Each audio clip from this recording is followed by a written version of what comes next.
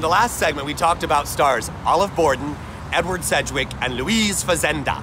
Today, we're going to talk about two more of the original eight prototype stars laid down here on the Hollywood Walk of Fame.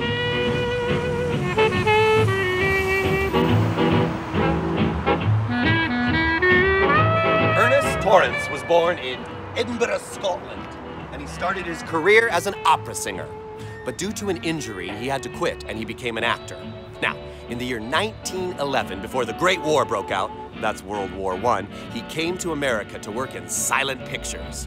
He did such character roles as the old codger in the covered wagon, Captain Hook in Peter Pan, and he played Buster Keaton's paw in the film Steamboat Bill Jr.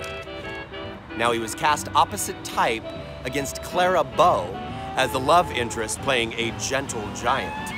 He segued into talkies beautifully he starred in the 1931 film Fighting Caravans with Gary Cooper. 1932, he played Moriarty in Sherlock Holmes. And in 1933, he shot the picture I Cover the Waterfront. He starred in that opposite Claudette Colbert. Unfortunately, Mr. Torrence died of gallbladder right before his last picture came out. So, hey, let's go talk about a star whose first picture was a talkie in 1929. I mean, this is right on the cusp when silence turned to talkies.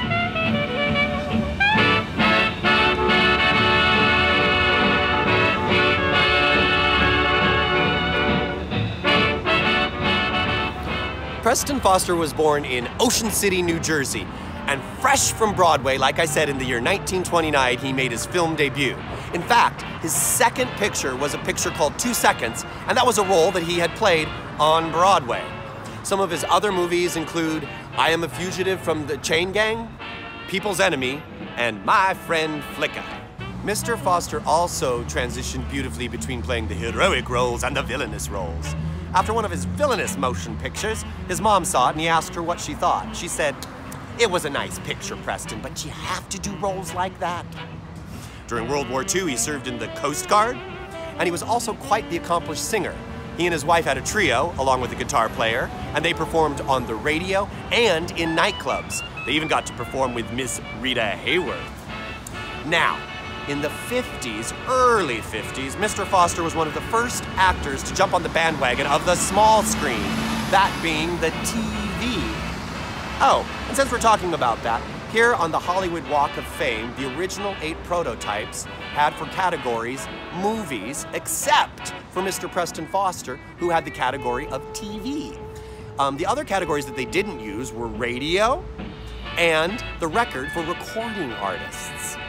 That helped start the Grammys, by the by, and more on that later. Tune in for the next segment as you can hear about Ronald Colman and his beautifully modulated and cultured voice. This is Todd Pickering for Walk of Fame Wednesdays. I will see you next week in Hollywood.